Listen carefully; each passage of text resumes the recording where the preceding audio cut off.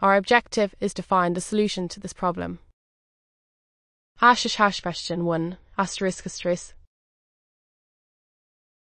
Step 1 asterisk asterisk calculate the present value PV of the withdrawals for the first five years of retirement from 61 to 65 years old where Mr. Jones plans to withdraw 6,000 annually. We use the formula for the present value of an annuity because the withdrawals are equal annual payments. The formula is PV equal to P times 1 minus 1 plus R minus N divided by R, where P is the payment amount, R is the annual interest rate, and N is the number of periods. For the first five years, P equal to $6,000, R equal to 0.99%, and backslash N equal to 5 backslash. Asterisk asterisk.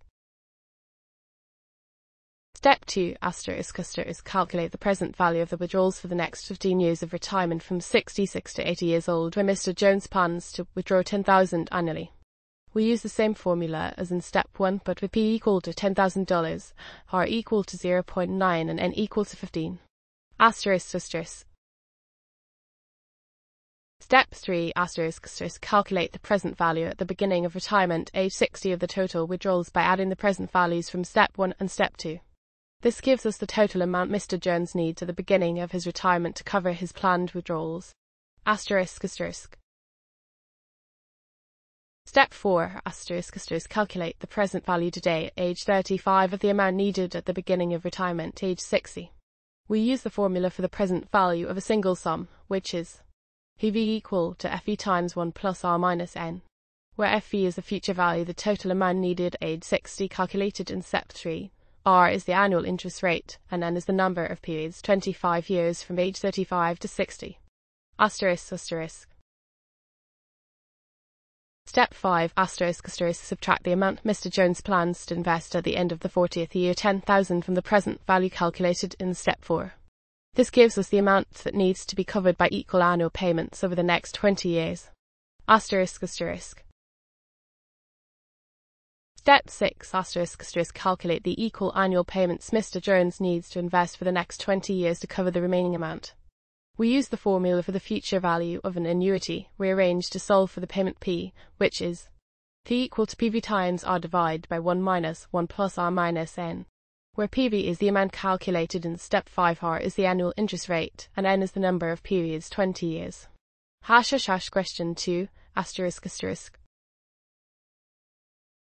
Step 1 asterisk asterisk calculate the present value of the withdrawals from the 10th to the 15th years where the annual withdrawal amount is Rs 50,000.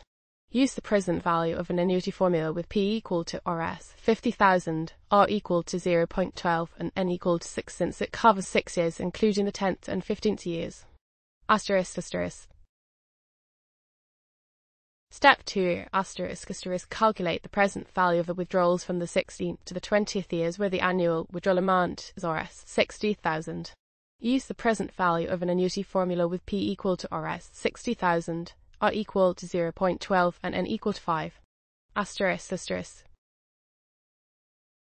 Step 3 asterisk asterisk calculate the present value today before the second year of the total withdrawals by adding the present values from step 1 and step 2.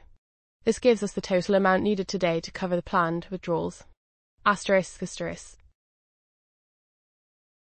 Step 4 asterisk asterisk determine the amounts to be invested from the second to the fifth year X and from the sixth to the eighth year 2X to meet the withdrawal requirement.